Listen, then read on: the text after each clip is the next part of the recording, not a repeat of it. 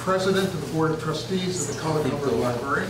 And Poem City is brought to you by the Hubbard Library, but we couldn't do it without our wonderful sponsors, the National Life Group Foundation, Vermont Humanities Council, Hunger Mountain Co-op, the Vermont College of Fine Arts, and the Poetry Society of Vermont.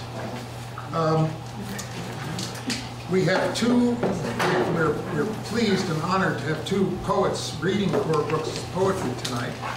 Chard deNiord is the Poet Laureate of Vermont.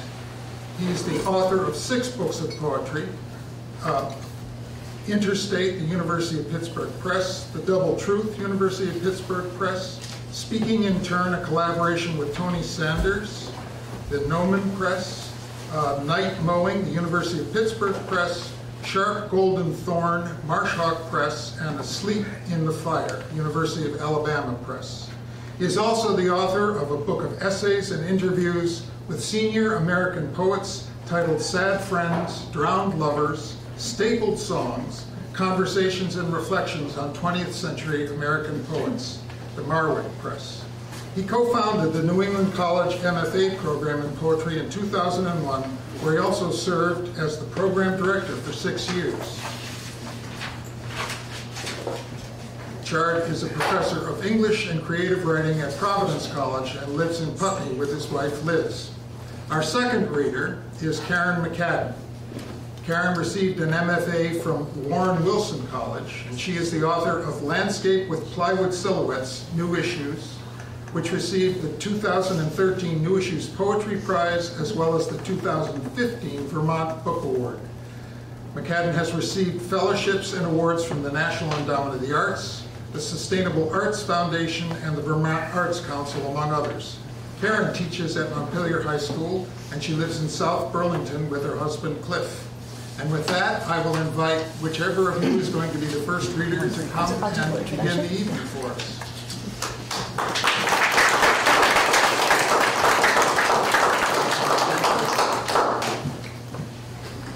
Thank you, Steve, and thank you to the Kellogg Hubbard Library and Poem City for creating such a wonderful container for poems, for everyone's poems. I'm just going to introduce this reading really quickly and say a few things about Cora, and then Chard will read from her published work. And then I've been rifling through her boxes for some unpublished work that I'll read second, so that's been quite a treat. Um, I called this reading Six Poems as Useful as Spoons because as Cora was dying, and she's probably said this to 100 people because I, I just love the way she riffs on language, and I, think she fall, fell in love with uh, phrasing regularly. She said she wanted to have written six poems in her life that were as useful as spoons. and I thought that was the most beautiful thing.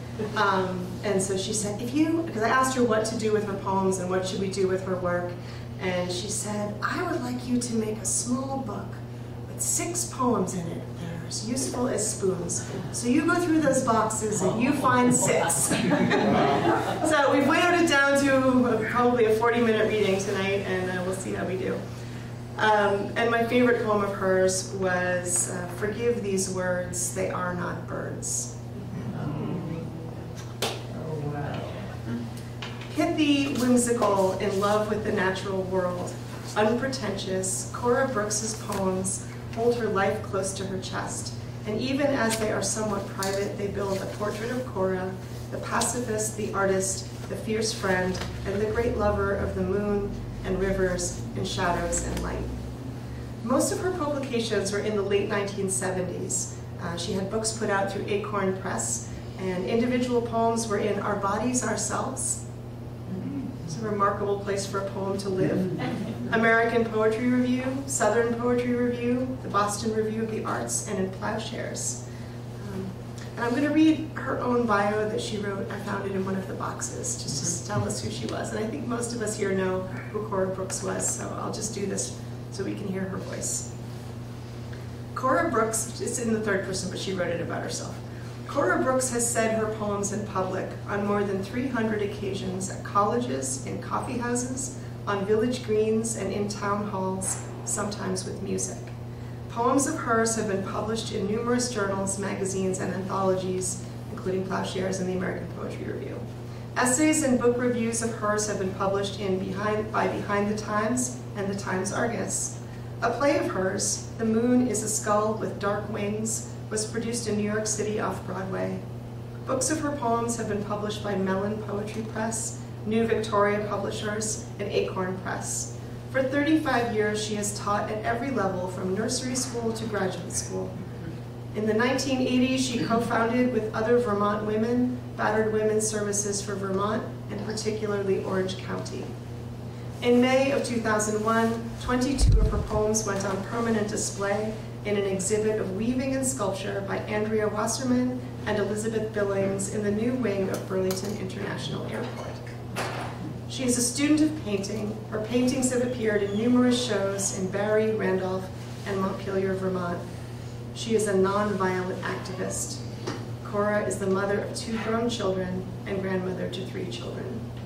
I remember asking her for a bio for the anthology that Chard put together with Sydney Lea, and her bio was really, really, really long and included this really lush description of her life. And I think that that's a, a place to stop. She lived a really rich life, and I believe we could all raise our hands if we were touched by her when she was here, right? Yeah, oh, there it is. Okay, so Chard's going to read from her um, her published work, and then I'll get up and read some other poems. Maybe there are poems we haven't heard before, maybe they have. Thank you for coming.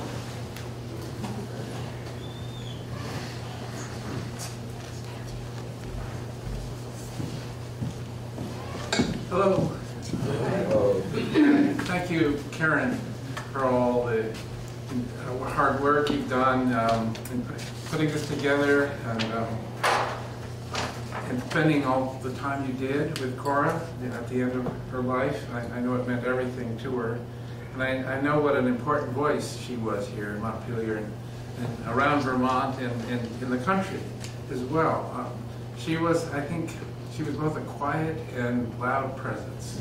Um, and you know, it's a testimony to her work that um, that you're all here. That you want to, you know, want, you want to keep hearing it. It's that news that stays news. Um, so it's a great honor for me to be here tonight and read uh, some of her poems to you, which um, I, I didn't know really uh, very well until Sid Lea and I started putting this book together, Roads Taken, Contemporary Vermont Poetry, which is here in the library. So there are about 96 poets dating back to Frost in that, in that book, two poems each of all the poets, and uh, she's, she's in there. And I, I, I got to know her um, then when we were, when we were perusing uh, poetry for that book. Um, so I'm going to read, um, I guess about 15 poems of, of, hers, maybe a few more. I'm going to start with this book, Poems for a Book of Hours. You know this little little book? Um, these are very short poems, and I think they um, demonstrate her the power of her restraint, her belief in economy. January. The tree once green became the log, the fire, the ashes, the air. February. Winter.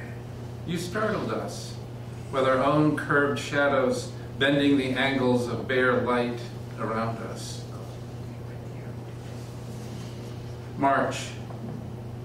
The wind would sharpen its tools on the gray stone days, but the stones became smooth and the tools slipped away. April. Above each loose river, banners of birds. May. Sun met hills, and hills went their way. June. Summer, you wound, loud, you wound light spiral stairs, placing bundles of light in our arms, railings, railings of vines, a wreath of bright air. July. Fireflies swirling high aspired to stars. August. A, slight, a slice of light shifted places with a sliver of darkness. Clouds unwrapped a storm in the unwalled meadows of air. September. We return to school, or we remember we carried summer on our backs.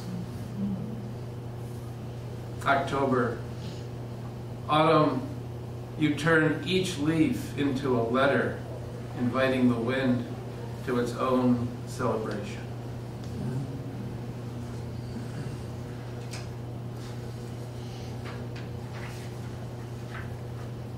And her last poem in this uh, series, rather than November and December, attached to her axis, the same earth that would fling us would swerve to curve under us to gather us around.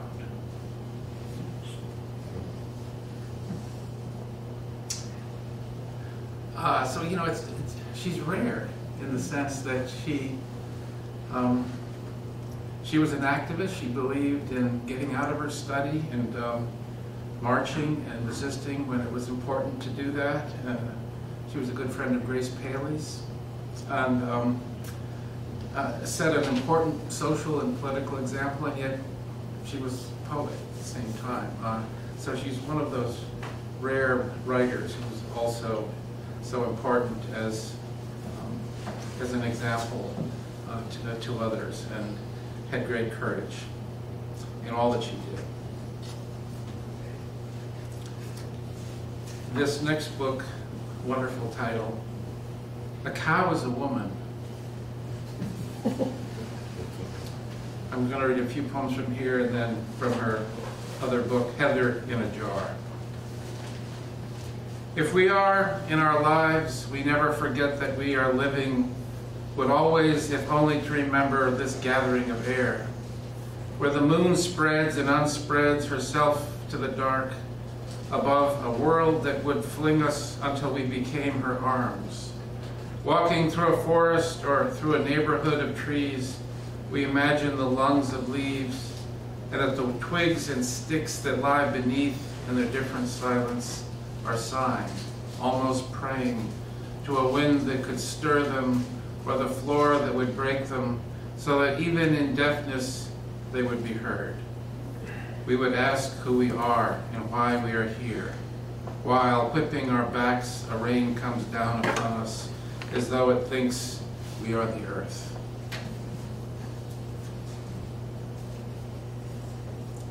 The sea.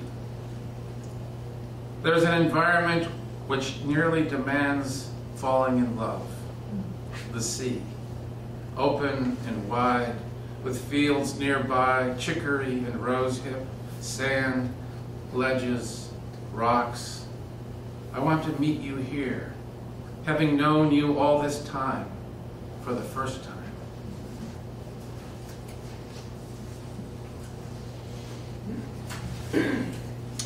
the map. The map says very little. It does not tell about the detours, nor can it predict an expression of sky. Three dark birds, then the migration. It does not indicate which things are living and dying, or the things already dead. It does not mention that next to the trees there is a river, washing its own wound, loosening itself from a swift and restless dreams, a wall made of stones, hauled from a meadow, vines twisting towards a steep light, or how long I would wait for you here.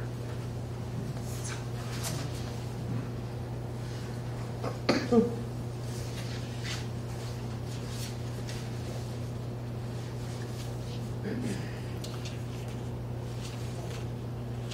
This is called The Visit. Look, the play we are in has no intermissions between the days. And when it is over, I could lose the ticket stub. You might soothe me with balloons, even though riding on the bicycle will be more difficult. If you show me the yellow legal pads that are your life, spread them all over the floor. I promise not to walk on any page while I look for my name. All I came to show you was this drawing book, filled with a diagrammed people, ripped in places, and the inflexible linoleum block carved twice to make one print. How else will you know the mother in this dance is asleep, sucking her thumb? And when she wakes up, she will say, Look, all this time, there was hair growing under my arms.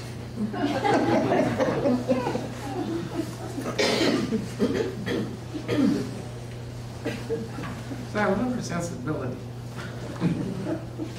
Love song of a species.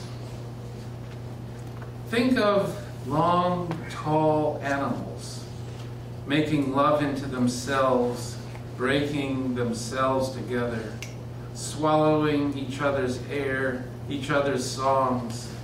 Think of these animals not knowing their species, their strangeness. Think of them trying to tell each other all day long with words. Think then of the most natural way of saying, I love you. Eyes, mouth, a place. There is a place that has no thoughts. Think of something, a thing that cannot think inside a place, that cannot contain thoughts. Think of these things together, not thinking. Think of the most natural way to think of this, then unthink everything that follows from that. Then sleep, a sleep in which all dreams and these words are stolen from the dream you are having.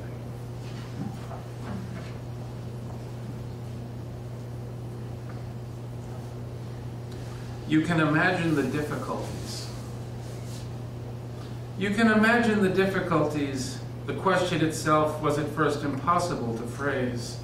Lacking sleep, away from clocks, the dimensions of time became the walls of a well into which we climbed.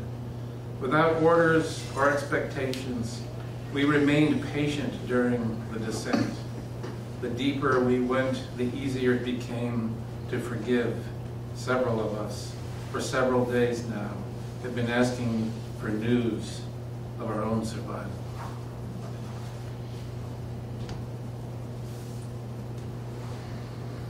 In a winter season, when we are seized by the spine in a winter season, our children come to us pale, flickering and dancing, indelible.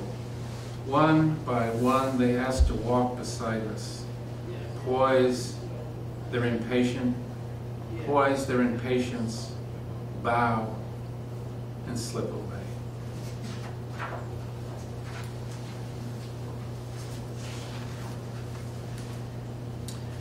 And this is this is the last poem from this uh, from this book um, that I've chosen. It's called Endure. You will come home. Build out the bridges in your mind with blocks, and your son and daughter believe you are playing with them. I will tell you all the things that happened while you were gone. The telephone calls, the one for you at 8 a.m., the one for me much later. We will speak of attractions. I will tell you that when I met you, I never met anyone like you before. You will say, that wore off. I will say, truer now than before. You will not be sure. You will seem interested, as though you are learning it for the first time. I will tell you of the light waking me through the window you made for the moon. I will tell you I've had fantasies and made love to myself while reading a book. You will ask what the fantasies are.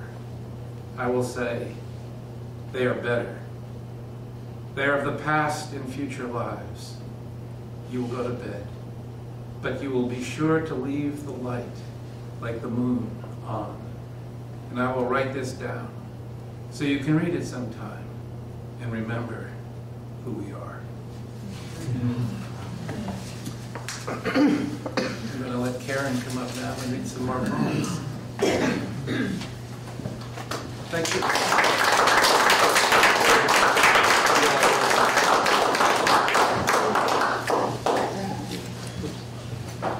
So I, I have a, a, a, thick pile of poems here, um, and I, I, don't think I'll be able to read them all, but I'm going to just pile on read them all. Thanks, this is a poem Cora often would say called Bird Song. A bird sings a song, song isn't long, sings it, never gets it wrong. Reminder, every day I want to stay alive to find out how to.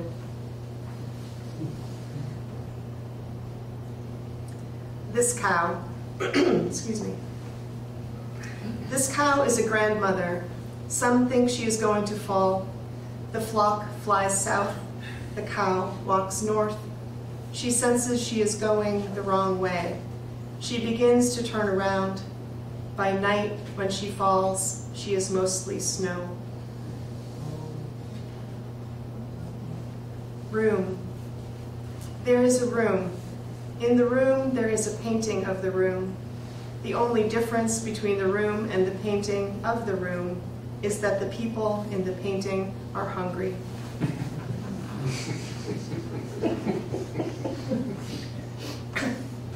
I'm so in love with her mix of humor and threat. I keep thinking of uh, the, there's always a subtle threat underneath this humor and this whimsical way of looking at the world. Fish in the, in, fish in the dark sky where the pup, I'm sorry, fish in the dark sky where the pebbles are stars. Suppose before we were this, we were fish or plums, dust and seed to the wind, hurled here, our hearts are in session, the earth pulls us on. Devotion. The vain moon uses so many seas, rivers, ponds, and puddles for her mirrors. A lot of these would make great tattoos. Named. Once upon a time, there was a family name group. There was a family name group spelled group. When they came to this country, the immigration officers spelled their name grunge, grudge, judge, grope, grump, gripe, grime, and crime to show them who knew how to spell their names and what to call them.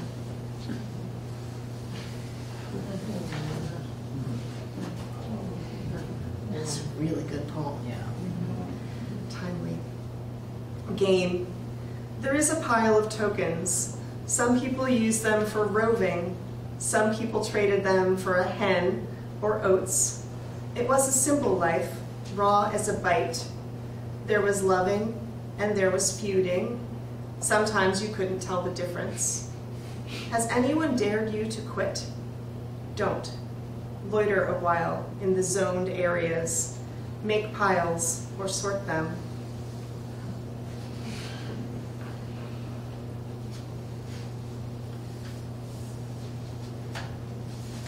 I promised I was going to read poems I didn't think were published, and I realized that two of them were, so I'm going to skip them. house. I am the house, empty and huge, open and vacant. I dream of dishes and glass, roses and glass, paper and glass. I dream of doors flung open and doors shutting out the night, which, if it weren't pinned up high by the stars, would drape over me like a flag over a casket. I dream of light splashed over the floor, of a fire smoke heaving up and out the chimney into the air. I dream of rooms and feet. Sometimes the feet dance.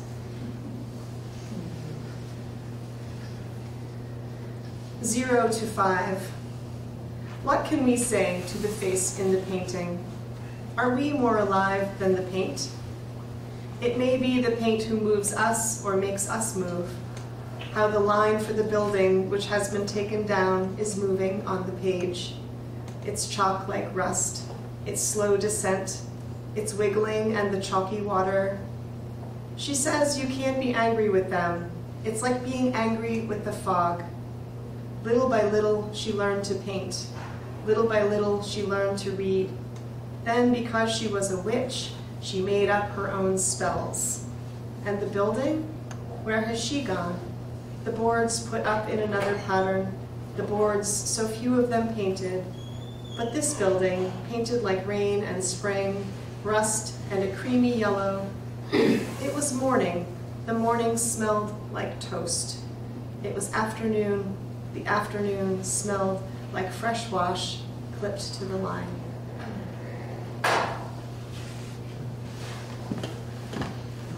Birds. There were birds in the tree, the color of the shed and the branch, brown and gray, maybe a little white, just a little, and black. The birds have feathers, they have feet, they hop and fly, flutter and settle. They settle on a tree. I come closer. They discuss this quietly among themselves. Then, on the count of whatever they count to, or however they measure, they measure and signal, and as if all at once, they all leave except one stays and one comes back, and one comes back to be with the one who came back to be with the one who stayed. There's this delightful recycling of images, um, such that when I was I was going through the boxes, I started to lose track of which poems I had read already and which I hadn't. And then I discovered they were all over my house and then all over my classroom. And then I realized that some of them are inside other poems. The little poems are become stanzas and the bigger poems. And so there's this great washing of imagination through all her work. She particularly seemed to like birds and the moon. The moon is everywhere. Um, but also I love the, the poems that mention the laundry on the line. There's another, a lot of real domestic images, um, which I find really beautiful when people can see the domestic and in the domestic find the divine and find those moments of real inspiration. Um, the dish.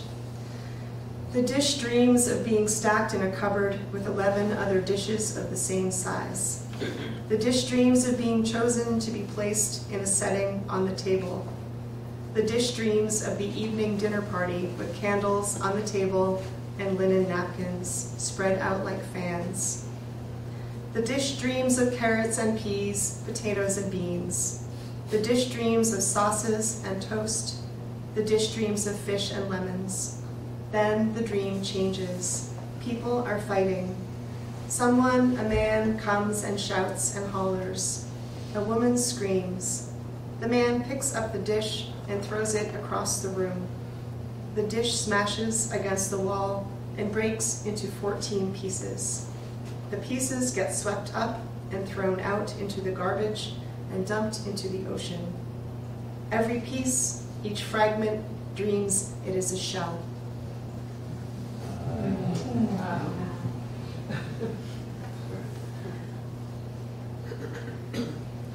Pandora's box.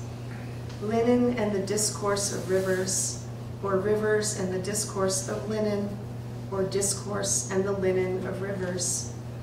Squirrels and outgrown shoes, the upper slope of the moon and blue air, pillows, beach rubble and hayseed, berries and cupped hands to drink the heavy rains, dust ripe for flying, and the wind or the leaves.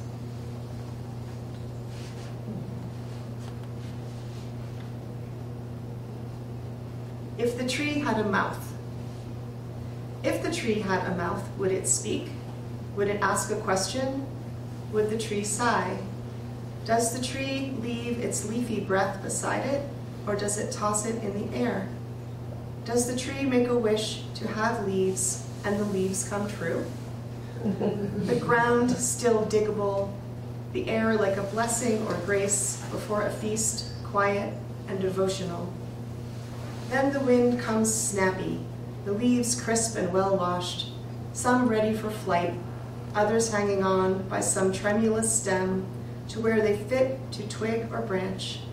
The birches lean together as if someone might yell stop to all this touching with leaves. Let the light, its mighty bright tooth, bite down.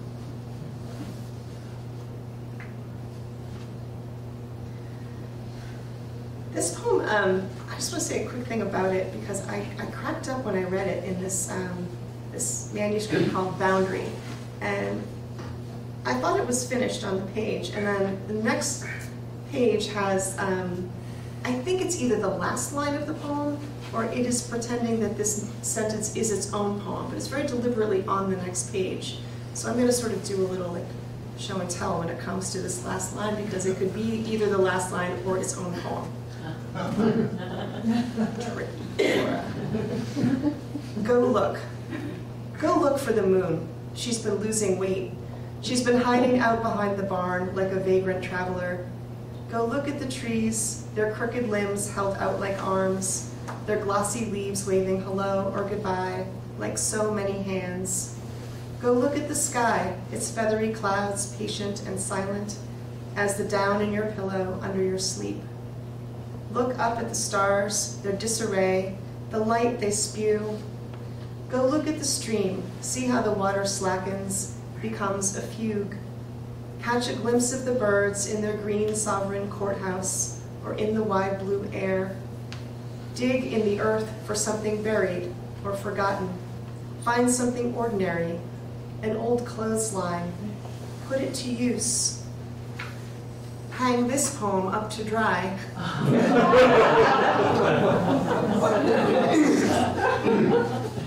that's ridiculously good.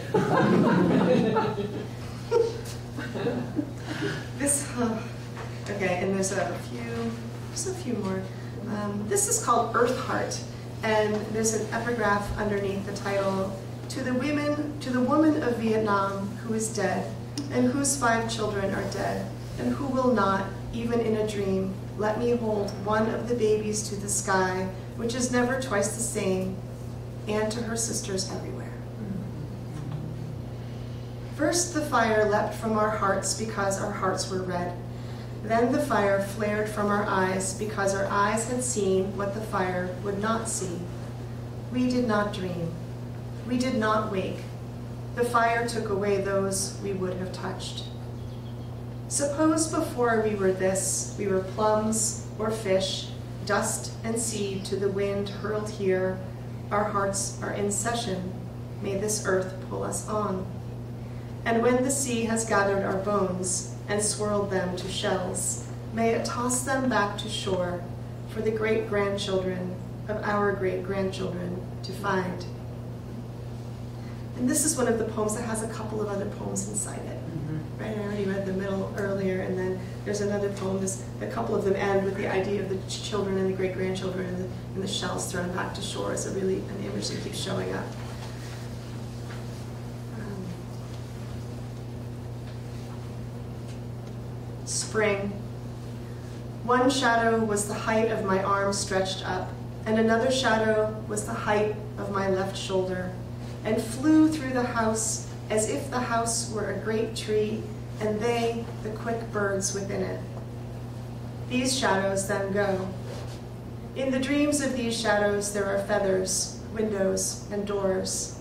One shadow flew through a window, and one flew through a door, but it was my own frozen shadow stood up from where I lay and dispersed itself to the night cold sky behind the northeast wall, and so long ago flew back with only one wing broken. I think so many of the poems, the one wing broken is another image that keeps coming back. Um, so many of the poems are not overtly personal. You know, they, they feel intimate, but they're not overtly about about the story of the self. And there's a few about her father, which I would want to read. My father. I heard his voice years later, after he had died, call, I'm gone. It rang through his nose and came from his chest and throat. His voice came on the wind going south, almost a song. And he wasn't with his voice now. He had no body, no crumpled skin, no swollen toes, not feet, no hands, all gone from one thing to another, back in the shuffle, and all that was left were these, those two words together, I'm gone, and not really knowing his voice any anymore, except by the twang, how long lasting was his call at last. My father keeps a bird. And even so, his shadow comes this dark night when for two moments it doesn't rain and the moon pulls full. Knock, tap, tap, tap. Now grown unafraid, I go to the hall to greet the one who is calling, almost knowing it is my coming to meet him which will frighten him away. Perhaps the thought of a gust of wind from the opening swing of a door on firm hinges gives him the fear of being shooed off the porch like a neighbor's cringing dog. Perhaps he fears being flung back to the earth like a skinny worm, for he, for he is more slender now than the handle of a ladle or bow. Through the window, I see him bow and withdraw, or even before, at the creak of the floorboards under my feet. He may have retreated without a word, thinner than a broomstick or lamp wick, afraid I'd say I didn't have room or time to spend, ashamed of the mending undone in his arms. He may have quickly slipped back into the damp blue night. Not my father, not my father's bird, not my father's shadow, nor the shadow of his bird.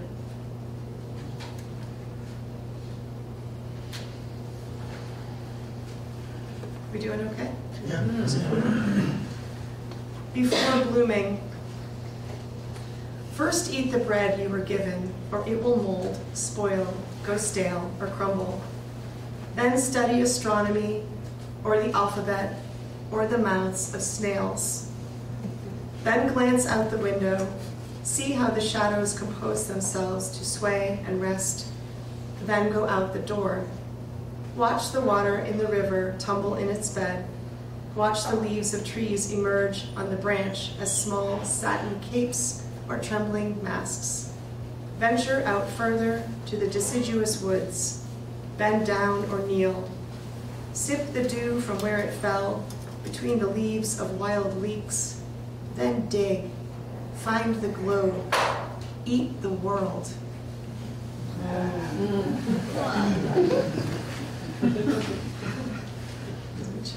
Eat the world. Angel. I saw an angel's body so long in length it was a river. Even later, I saw two ravens shove each other to lift and carry in their beaks the tip of the tapered hem of the angel's silky liquid slip.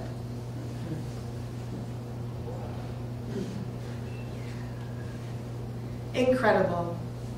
The raven in flight pecked away at the moon each night until the light fell on the land, in the waters and waves, on the sea, on the river, on the sand, on trees, on leaves.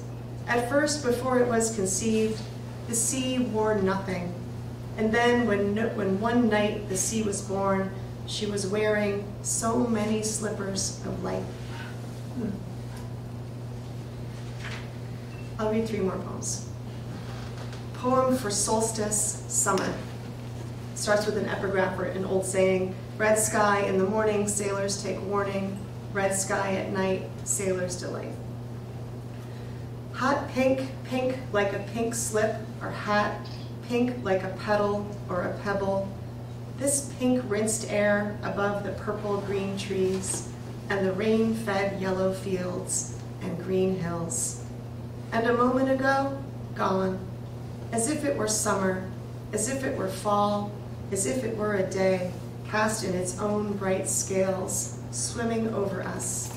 This fire, this full light taking shorter turns or less length, less breath, an elusive glow flitting through the sky. Or is it we who are turned from this light? The blue shade, already wide, pulled long. This poem is um, called Wasps, and it is in memory of David Dellinger.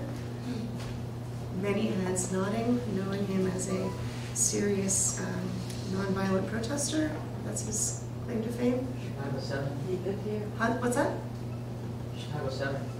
What? He was one of the Chicago. Chicago Seven. Chicago Seven. And he lived here in And What, what did Cora always claim she was? She was one of the something. She claimed she was. Chelsea. They, he lived here at Heath House uh-huh. at the end of the. Oh, he did. Well, it was either the Chelsea station or Chelsea. Yeah. And he lived in the house my dad was born in. Your real stories. At the top of this poem, it says, "To the editors." I don't know who she sent it to. It's called Wasps. In spring, wasps emerge from their hidden nests. Before flying, they move around inside a room as if they were monks and nuns, philosophers contemplating existence, being. When it rains, they touch each other in a corner where a window meets a sill. They rest there, still as pebbles. Often they keep their thin wings to themselves. When they overhear the news of war from the radio, then one or two wasps show with their whole crisp bodies how the bombs drop. With open wings in demonstration, they fly to the ceiling. From there, they drop down and down and down, over and over, bombarding wall, window, floor. The other wasps turn away like a small banner of sorrow. They fold their wings to climb and pile on top of one another, to huddle, to hold, to weep.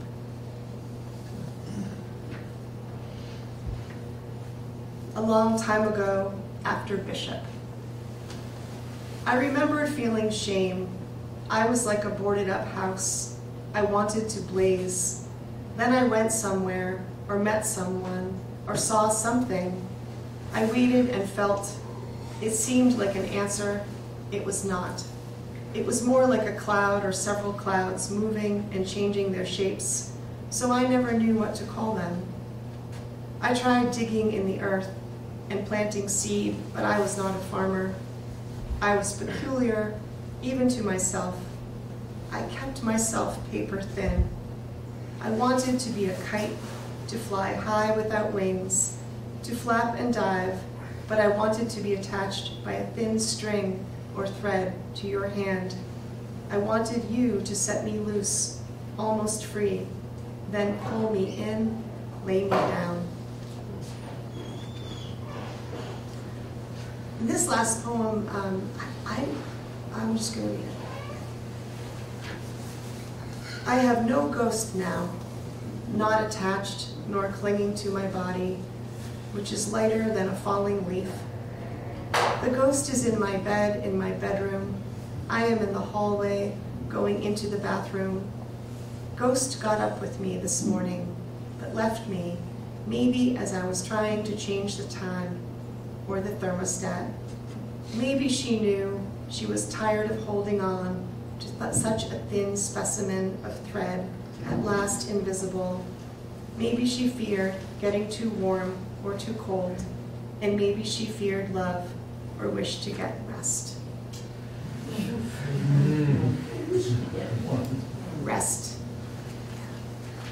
Thank you. for-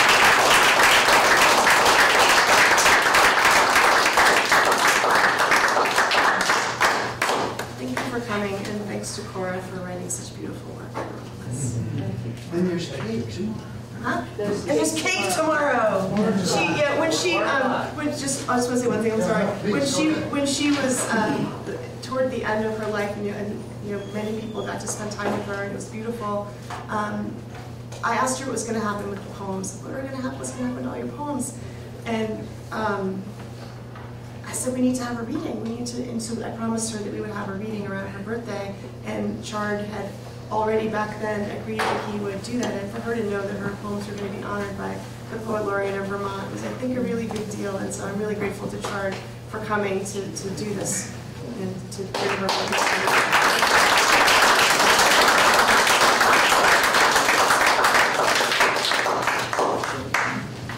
So thank you all for coming. Uh, As someone just announced, there is another celebration of Cora tomorrow night here at the library. At at 4 o'clock in the afternoon upstairs. And uh, there are pictures of her all around that room and some of her artworks as well. So I think that is the time that you will, any of you who can come, can share stories uh, and talk about, about your memories of Cora. Thank you again, Chard and Kerrin, for, for sharing uh, your readings with us tonight.